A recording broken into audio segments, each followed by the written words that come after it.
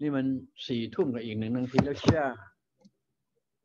สี่ทุ่มกับอีกหนึ่งนาทีแล้วเชียต้องทำสแตนใหม่แล้วมั้งมันลื่น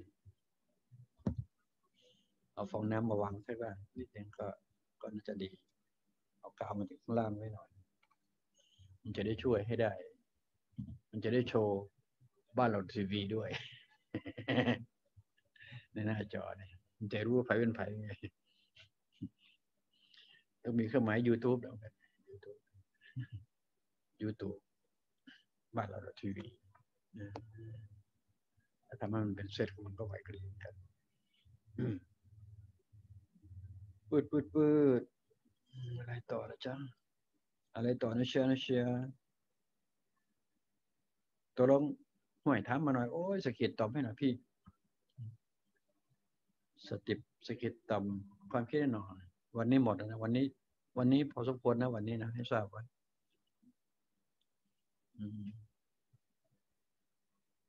ลุงโอ้ยทักก็ค่อยก็ไม่ได้คุณมัฒนา บอกจะเล่าเรื่องการย่นระยะทางและพระอรหันต์ลุงประเทศลูกดอนขับห่วย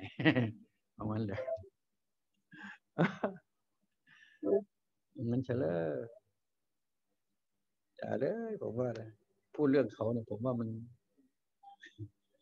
มันไม่จบเราเคยแต่เคยได้ยินเขาเล่าเรื่องเขาเล่าเรื่องเขาเขาให้ฟัง หน้าจอเยอะแยะไปใครก็ไม่รู้เขาเรียกว่ายูทูบเบอร์ใช่ไหมเออ สังเกตยูทูบเบอร์เนี่ย พูดเรื่องเขา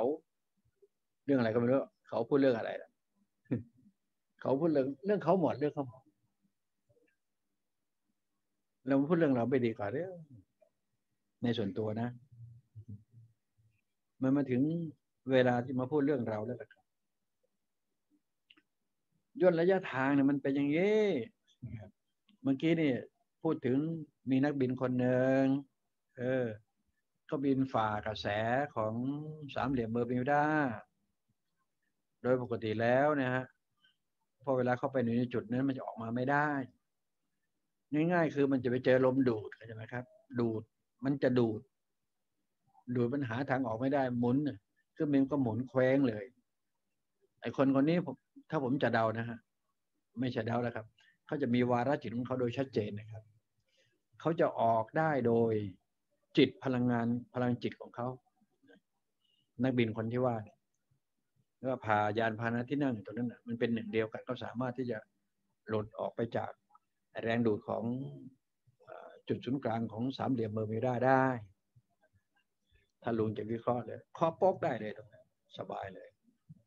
ก็แปลว่าคนที่เขามีพลังในด้านนี้ ก็สามารถที่จะให้ความปลอดภัยทั้งตัวเอง ทั้งเครื่องบิน ทั้งผู้โดยสารอยู่ตรงนั้น เป็นลักษณะปกป้องคุ้มครองนะครับคนที่ปกป้องคุ้มครองนะฮะแม้ว่าธรรมชาติ จะมาดดเด่นเผ็ดมันขนาดนั้นก็สามารถที่จะออกจากจุดนั้นได้นะครับ อันนี้แค่กายใจจิตล้อมรวมเป็นหนึ่งเดียวกัน ในช่วงเวลาเขาจะไม่รู้สึกตัวตรงนั้น เขาจะขาดความรู้สึกไปประมาณสักห้าวินาทีหรือห้านาทีนี่ไงระยะทางได้เป็นกี่กิโลจนระยะทางได้